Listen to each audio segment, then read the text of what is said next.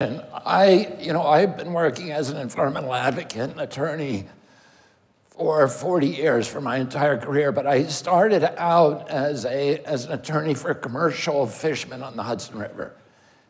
And we built that organization. We, they launched a patrol boat.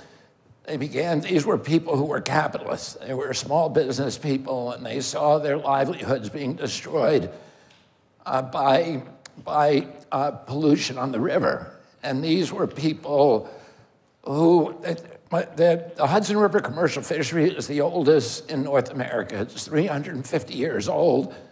Many of the people I represent came from families that have been fishing the river continuously since Dutch colonial times. It's a traditional gear fishery they use the same fishing methods that were taught by the Algonquin Indians to the original Dutch settlers of New Amsterdam and then passed down through the generations. And, uh, and there was nothing wrong with their business model. But the General Electric Company used political clout in Albany to get permission to illegally dump PCBs into the river rather than properly disposing them and it saved them money. It allowed them to outcompete the other producers of capacitors and to win in the marketplace, but they had distorted the market, the market signals by cheating the market. And these fishermen knew that their problem was not their business model. It was that, the, that the, we didn't have corporate, we didn't have free market capitalism on the river we had a kind of corporate crony capitalism that was allowing polluters to use political clout to escape the discipline of the free market.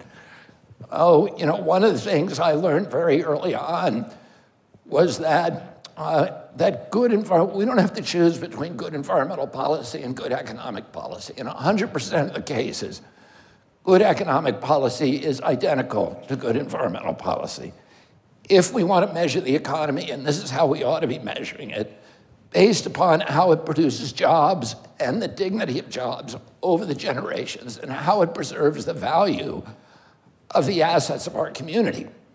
If, on the other hand, we want to do what the big polluters often want us to do, which is to treat the planet as if it were a business in liquidation, convert our natural resources to cash as quickly as possible, have a few years of pollution-based prosperity, we can generate an instantaneous cash flow and the illusion of a prosperous economy, but our children are going to pay for our joyride.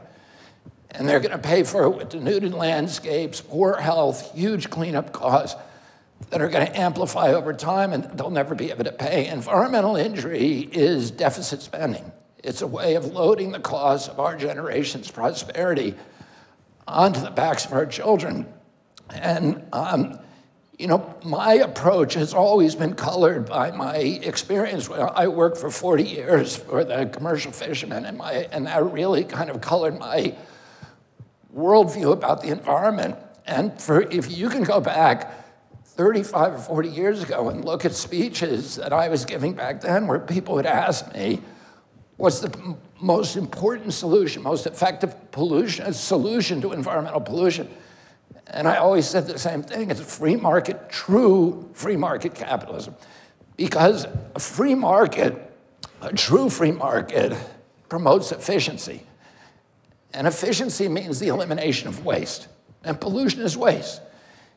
In a, a, true free market would require us to properly value our natural resources. And it's the undervaluation of those resources that causes us to use them, uh, them wastefully or recklessly. In a true free market, you can't make yourself rich without making your neighbors rich and without enriching your community. What polluters do is they make themselves rich by making everybody else poor. They raise standards of living for themselves by lowering quality of life for the rest of us, and they do that by escaping the discipline of the free market. You show me a polluter, I'll show you a subsidy. I'll show you a fat cat using political clout to escape the discipline of the free market and force the public to pay its production costs. And what I did as an environmental advocate, I really always considered myself a free marketeer, that I was going out into the marketplace to catch the cheaters and to bring them to court and say to them, we're going to force you to internalize your costs the same way that you internalize your profits. Because as long as somebody can externalize those costs, it distorts the marketplace. And none of us gets the advantages of the efficiency, the prosperity, and the democracy that true free market capitalism offers our country.